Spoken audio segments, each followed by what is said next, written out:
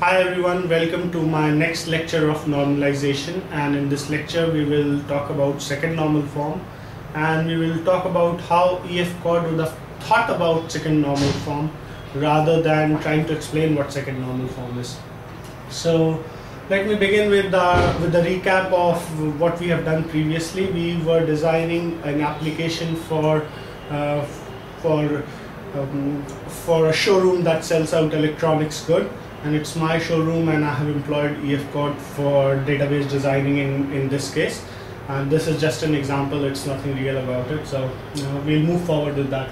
So in first normal in the first lecture we have seen how uh, we figured out that there were repeating elements. And whenever there are repeating elements we have to create a new entity.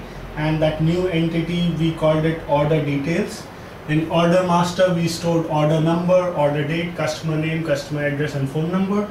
And order details, we stored order number, item name, and amount, which were the repeating part of the elements.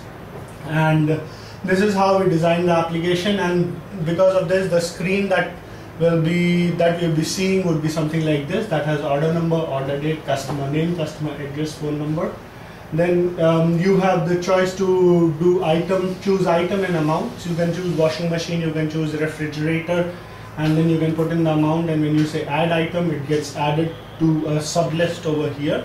And when you say submit, all this data goes and gets stored in the order details table. This is what we have done till now. We'll take a step further and we'll see what new complexities we are going to face in this type of a design. So let's go ahead.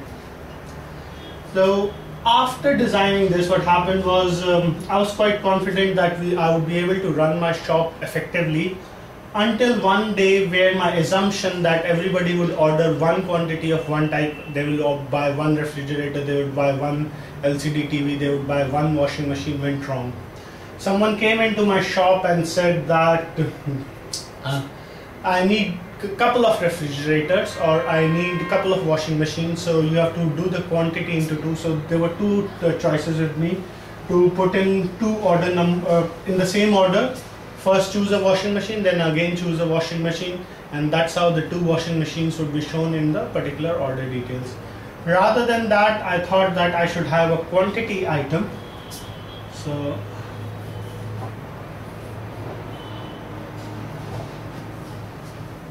the quantity item. So I can put in the quantity. So if someone says that he needs two refrigerators, I can put it refrigerator over here and I can put the quantity 2. And I figured out that it's a repeating part of the element, so it should also be showing up over here.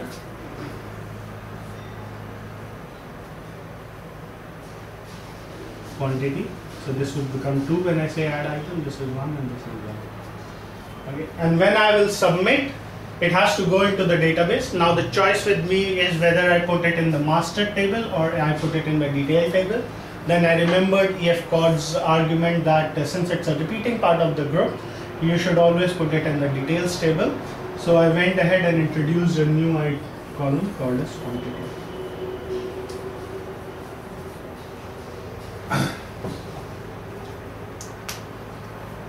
okay this is how how we got to this uh, item of quantity.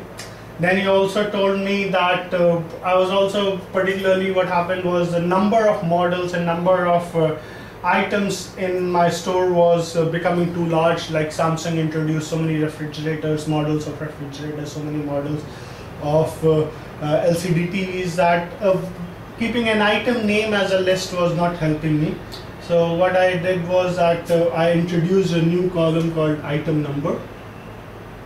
Item number. And it also had item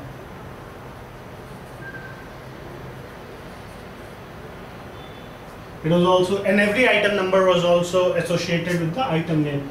So it was just like saying um, item 1 is for refrigerator of uh, Whirlpool okay. So I have to introduce it again over here. So I figured it out that uh, item number is again the repeating part of the group. So I need to put it over somewhere over here. So I introduced a new column called as item number. For refrigerator it was 1, for TV it was 2, for LCD it was 3. I have to put the same thing in my database over here. So I did the again came up with the rationale that uh, it should be added to the order details table.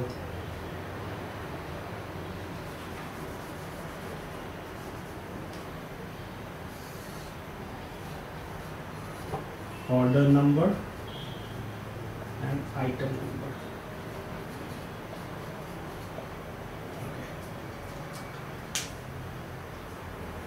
Now things were becoming all the more smoother for me. I was particularly happy with the things, uh, how the, the way things were going on. Uh, until and unless something happened. So what, what happened was that uh, the items in this list grew out of control.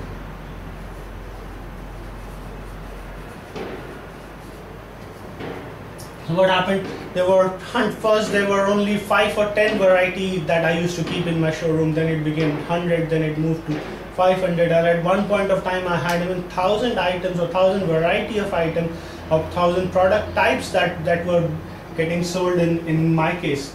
So that was not working out for me. I figured out that that's gonna help. That's uh, that will not gonna help me, and I need to do something about it. And I need to take care of certain criteria because I can't remember for every all of those thousand products what's the exact amount they have to be sold, sold for. So I have to do something creative so that I can remember uh, or the system itself can remember those thousand product price list and then uh, if a customer is valuable to me I can give him a discount or something like that.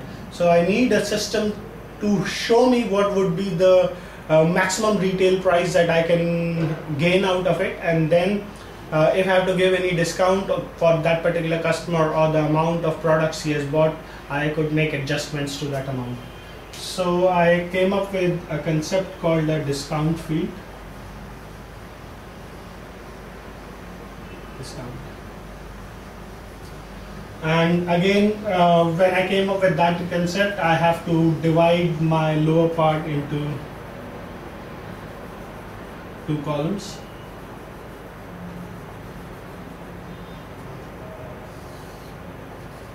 Amount and discount. Okay. So amount 18,000 discount I can put it in percentage 5% TV say it was uh, 15,000 I can put it discount 2%, LCD TV 29,000, I can put in a discount of say 10%. So again I figured out it's a repeating element and I went ahead and added another column called the discount column. Okay.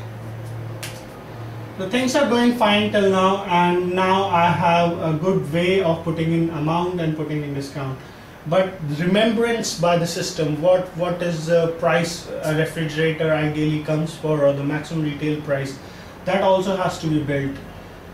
So I figured out that uh, in order to build that I would have to show my creativity. I would have to do something like this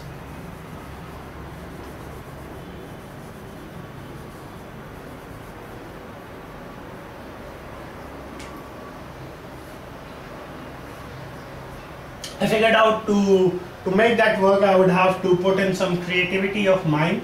And for putting in some creativity of mine I would have I remember that all my order numbers are in positive sequence. They are 1 2 3 4 5 6 7 8 9 so I should be able to put in negative order numbers in my database and then whenever I choose a product from here it should go and see that negative order number and figure out that for a particular item number if it matches uh, it should get me the details